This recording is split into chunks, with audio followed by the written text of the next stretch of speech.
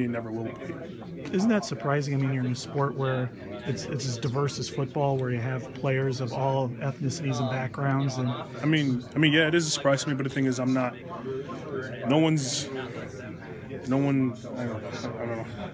Like no one's immune from that. I mean, it's everywhere sometimes, but I think uh, on a football team, you get a whole bunch of people from different backgrounds, different ethnicities, different lifestyles, and not everybody's going to agree. But I think at the end of the day, for the better for the betterment of the team, you got to keep that kind of stuff to yourself. And when it comes out on the field, like play field like that, I feel like it just kind of gives you a window into who this person may really be. And I mean, it's unfortunate.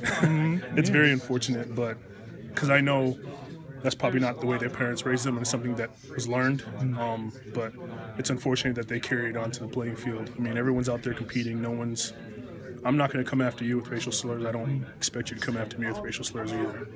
was it something that happened throughout or No, no, it happened early on, and I was. I mean, I was kind of taken aback by it, but I mean.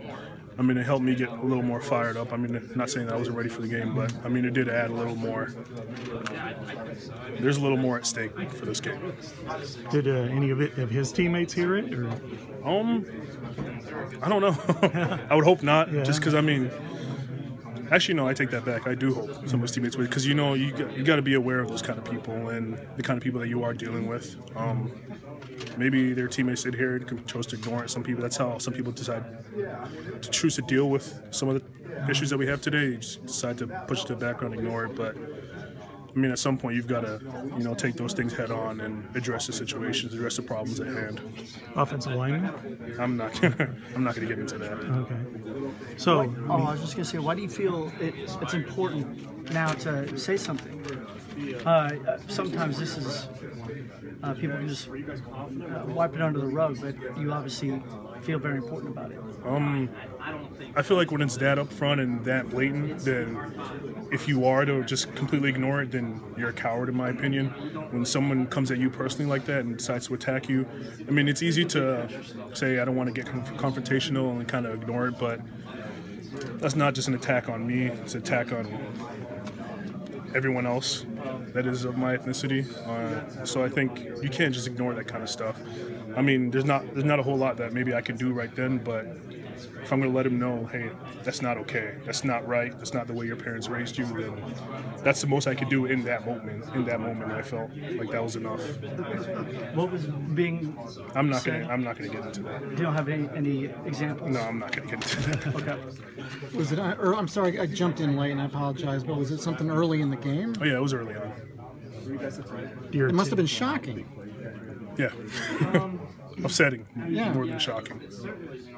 do your, did your teammates know or hear it? No, I mean I didn't tell any, I didn't bother telling any of my teammates. It wasn't something.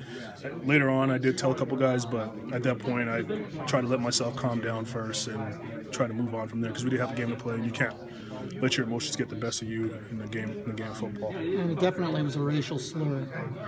Yeah. Jesus. And then you, you mentioned karma. Yeah. Yeah, so it seemed like that that's your reward to some extent, the way you guys play, the way you beat them. I mean, I'm not going to put it all on karma. Obviously, we went out there, we did the work.